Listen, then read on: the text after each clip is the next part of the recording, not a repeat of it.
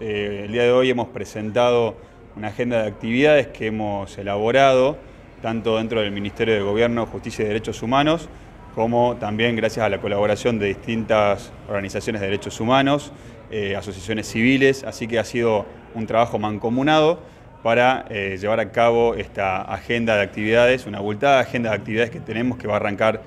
mañana y va a terminar el 29 de marzo.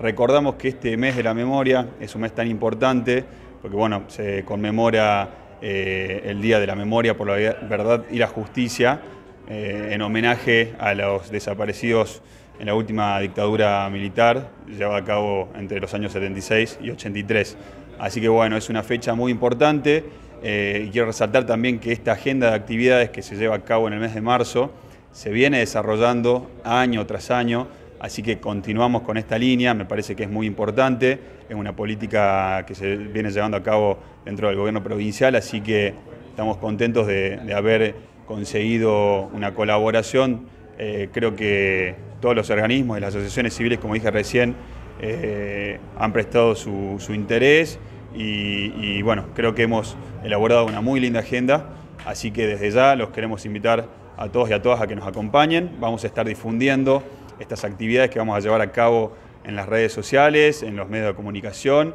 eh, así que desde ya quiero hacer extensiva una vez más esta invitación para que, para que nos acompañen en este mes tan importante de la memoria, verdad y justicia.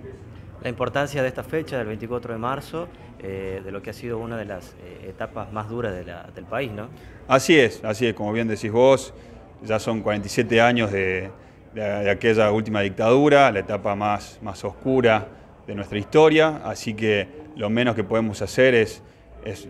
realizar actividades eh, por supuesto también para, comunicar, ¿no? Comunicar tanto, recién lo decía el intendente de Fray Marto para, es importante comunicar eh, no tanto a nuestros contemporáneos, sino también a los más jóvenes, ¿no? que ellos sean este, este canal de, difusión, que se vaya, que se siga desarrollando esta difusión generación tras generación para que no olvidemos esta época tan oscura, para que nunca, nunca por favor se vuelva a repetir.